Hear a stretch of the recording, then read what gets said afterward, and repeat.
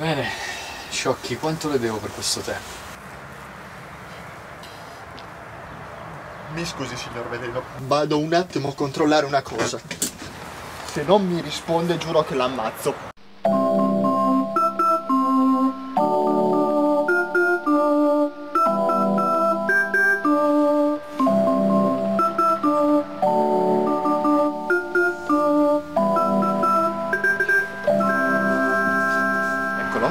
Eccolo. Io lo so, non mi risponde. Guardalo, guardalo. Povero Linda, anche Daniel. Daniel, ti prego. Daniel risponde.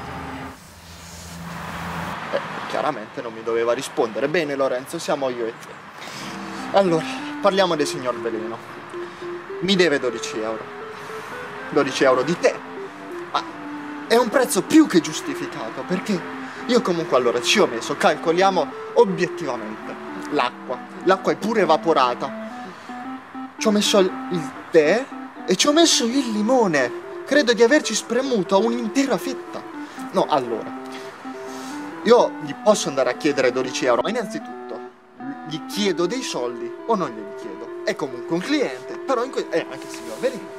Ma se metti caso che io adesso entro, gli chiedo quei soldi e a lui non va bene perché magari poi viene fuori che è un, un prezzo troppo alto o peggio, troppo basso. Allora, la, la questione è la seguente. Potrei farlo pagare all'ingrosso perché calcola Lorenzo.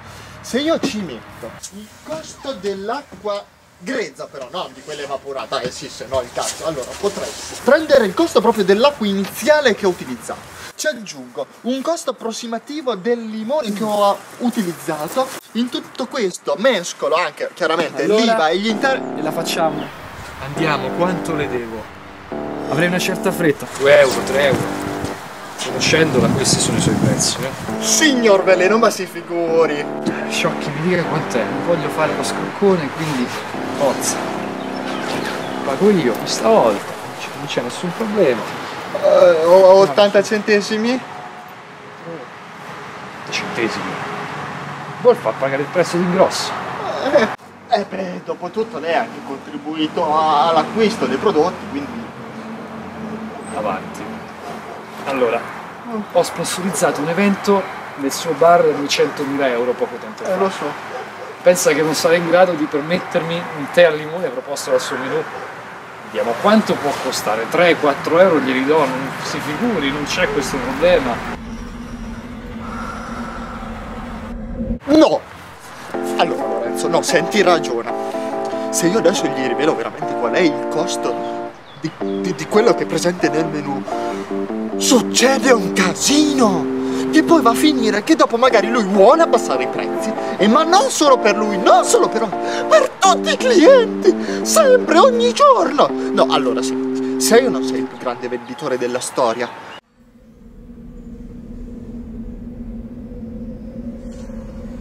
La verità, signor Veleno, è che dietro alla realizzazione di questo tè c'è del sudore. Il sudore di chi ha vissuto con passione nelle proprie piantagioni, ha coltivato questo tè per tutta la sua vita, sparso chissà dove.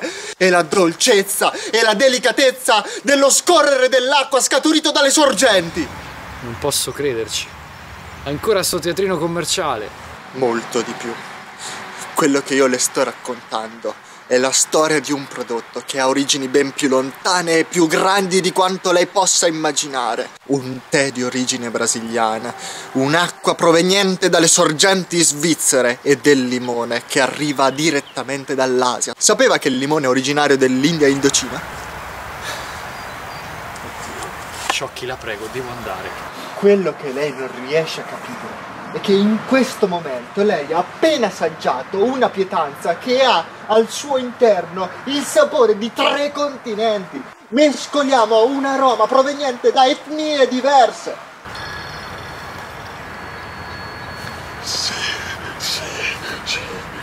Ricky! Oh, dove cazzo eri? È tutto il giorno che ti ti...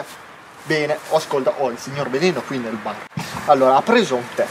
Allora, è- è venuta fuori questa questione. Sì, lo so che costa 12 euro, ma cosa vado? Vado a dirlo a lui. Adesso cosa gli dico? Signor Veleno, aspetti! Riccardo, smettila! Mi devo... No, dai, dai, ti prego, dammi una mano. Se ne sta andando, che cazzo gli devo dire? Io! È colpa tua! Scusa, se te non mi chiamavi io non glielo dicevo! Quindi prenditi le tue responsabilità, vieni qui e dammi una mano! Signor Veleno, aspetti!